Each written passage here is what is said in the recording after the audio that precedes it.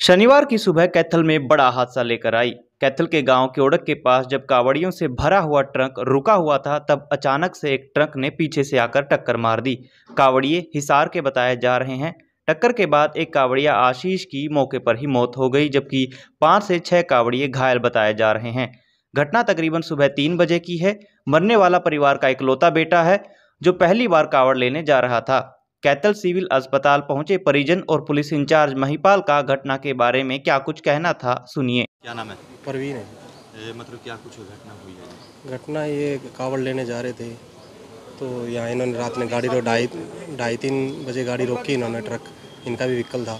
तो ये उतर रहे थे नीचे सारे नीचे उतरे हुए थे ट्रक से। साइड में खड़े थे रोड के साथ लगते ही।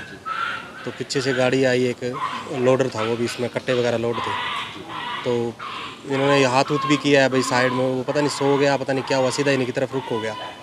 फिर जैसे कईयों के तो साइड लगने से इधर उधर गिर गए वो गाड़ी वो वो ड्राइवर ने वहाँ से उसने छाल लगा दी गाड़ी रुकी भी नहीं सीधी लग गई गाड़ी पलट गई। इसके बोरी वगैरह कट्टे ऊपर गिर गए गाड़ी पलटने से नीचे आ गया ये। तो मतलब किस चीज़ में थे कावड़ी कौन सी गाड़ी थी? गाड़ी तो इन पे भी व्हीकल ही था बड़ी गाड़ी थी खुले। लोडिंग लोडिंग वाली। थी ना यार। तो मतलब कि उसमें कितने को चोट लगी है? आठ चोट तो आठ आठ दस लोग हैं उसमें। कुछ रेफर कर दिए हैं हिसार हाँ जी।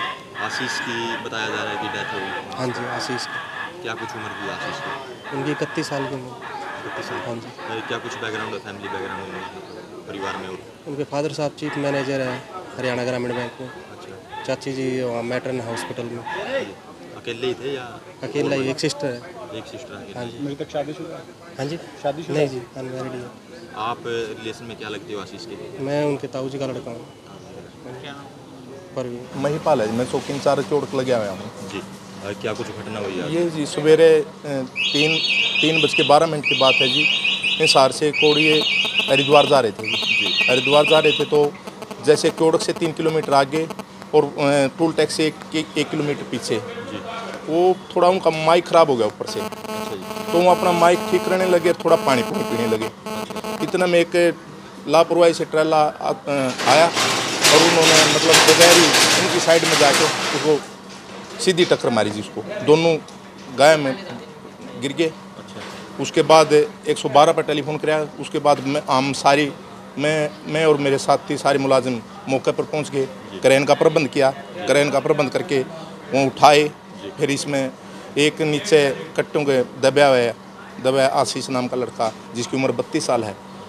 वो कहाँ का रहने वाला सर? ये सेक्टर सोलह हिसार का रहने वाला है। अच्छा। और जी फिर उसको यहाँ हॉस्पिटल में ले आए लेकिन वो बच नहीं सका।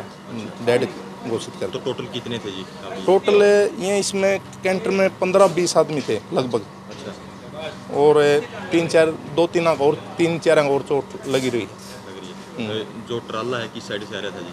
ट्रेला ट्रेला भी कैथल साइड से और वहाँ भी कैथल साइड से। पीछे से ट्रेला आ रहा था वहाँ थोड़ा रोक रोक के पानी पूनी पीने लग गए साइड में साइड साइड में लगा के। तो ये कहाँ के रहने वाले हैं ये इंसार इंसार के अगर इंसार के रहने वाले हैं सारे के सारे। मतलब प्रॉपर इंचार है प्रॉपर इंसार के। अब क्या स्थिति है मतलब जो तीन चारों को चोट लगी कितनों को चोट लगी और एक तो चार तीन चारों के चोट लगी है उनको तो कुछ ज़्यादा चोट तो नहीं है उनको लेकिन उनका इलाज चल रहा है।